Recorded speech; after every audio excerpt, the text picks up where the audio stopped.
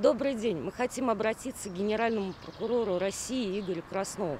Помогите нам нашей ситуации. Мы остаемся на улице. Ну, ситуация сложилась так, что когда мы покупали жилье, нигде не было официально указано, что дома аварийные. Нам пропустили и госреестр, ну, все пропустили. Я вот сделку делала в МФЦ. Никто ничего не сказал, что дом в аварийном состоянии. Хотя, э, по идее, уже знали город об этом знал, что мне сообщили, что, оказывается, в 2013 году признан аварийным. Я покупала в 2015 на мат-капитал.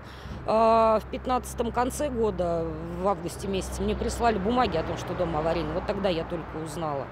А сейчас под э, поправками нового закона от 2019 года, хотя я обращалась много куда, и ответ мне приходил, что закон не имеет обратной силы, к нам применяют эту обратную силу, а, и нам не хотят давать жилье, которое нам положено. Мы не просим новострой, центр города, нам хотя бы вторичку дайте, мы не купим ничего. У нас детей лишают просто-напросто жилья.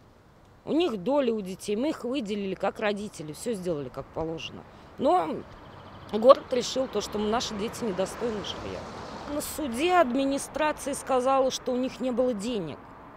Вот, э, как бы до 21 года они не могли найти денег. А землю у нас выкупили за две с половиной тысячи рублей. У меня есть документы, там все расписано, за сколько выкуплена земля мэрии. Наверное, мы очень бедный регион, поэтому такие деньги не могла мэрия найти на выкуп земли. Вот наш дом, в котором мы жили.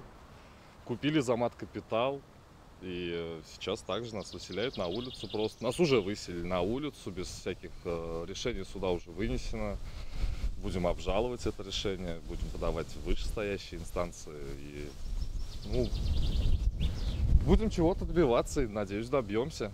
Нам предлагают деньги. Деньги, ту, за которую купили по договору купли-продажи 453 тысячи. И эти деньги каждому на счет по 151 тысячи. То есть матери, у меня брат есть, вот брату и мне. Много нюансов с этими деньгами получится. Их могут вообще в итоге потом не дать. Потому что мат-капитал второй раз не выдается. И все. Жеребьевка у нас была, квартиру я свою смотрел, то есть когда наш дом начинали расселять мне выпадала квартира, я в ней был, мы уже там планировали ремонт делать, все. Ну а потом все это отозвали. Я брала ипотеку также по от капиталу. Э, потом сняла через полгода обременение, как погасила ипотеку, выделила детям доли, причем в поправках указано то, что у кого там дарение, наследство, на этих людей как бы эти поправки не касаются, ну, наполовину касаются. Квартиры не положено, а положена выкупная сумма, там вот 40 тысяч за квадратный метр. А мне также предлагают 454 тысячи, хотя я гасила ипотеку, получается, за свой счет. У меня также есть письмо, где мне выделяется квартира на пятом Динамовском. Я также прошла жеребьевку, осматривала свою квартиру, подготавливала все документы, ездила в органы опеки, чтобы они дали э, разрешение на то, чтобы мои дети там проживали. Вот так вот. И пока у меня суд длится.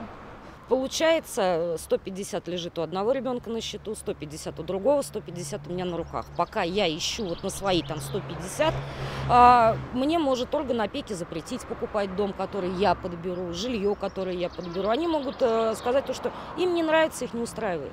Но у меня нет прописки, не будет ее. На суде я попросила администрацию, пропишите меня в здании администрации Саратова, чтобы мы могли в поликлинику обратиться, получить документы. Мы ничего не можем сделать без прописки.